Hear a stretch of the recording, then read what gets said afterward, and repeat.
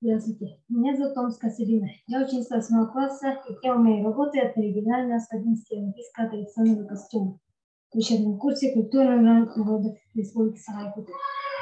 Практически во всех районах проживания венков прослеживается процесс оккультурации, который отражается на их материальной и духовной культуре. Необходимо показать региональные особенности видоизменения, воинствования, утраты элементов культуры и причины этих процессов.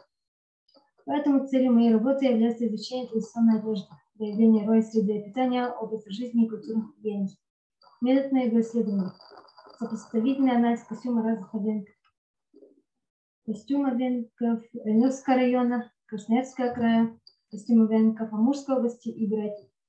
Результатом моей работы является разработка методических рекомендаций и план занятия по традиционному костюму разных этнических групп венков включения в общий курс культуры народов Якутии от 5-9 классов.